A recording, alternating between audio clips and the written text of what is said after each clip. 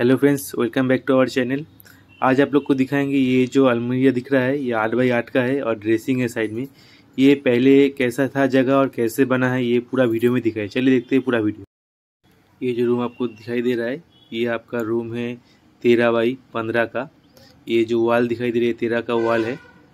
तेरह फीट चौड़ाई है, इसमें आपका आठ बाई आठ फीट का एक तो अलमारी होगा और साइड में दो फीट का एक ड्रेसिंग होगा। और इस साइड में आपका तीन फीट का एक तो मंदिर बन जाएगा। वीडियो इन तक देखिए और हम लोग का चैनल नए हैं तो सब्सक्राइब कर लीजिए, लाइक कीजिए बिलियन आइकन को प्रेस कीजिए।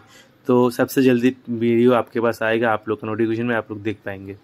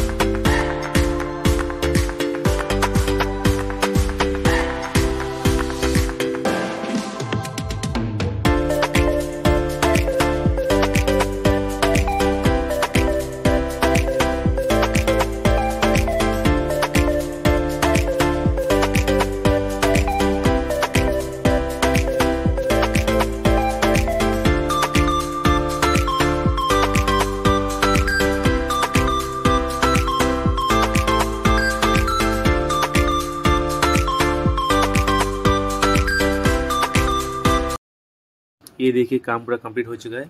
ये हो गया ड्रेसिंग इसमें पीछे बॉक्स है, ऊपर में कोई लाइट दिया हुआ है। और ये जो अलमारी दिख रहा है, ये आठ बाई आठ का है स्लाइडिंग डोर है। इसका अंदर में कलर है। ये पूरा रेडी हो चुका है।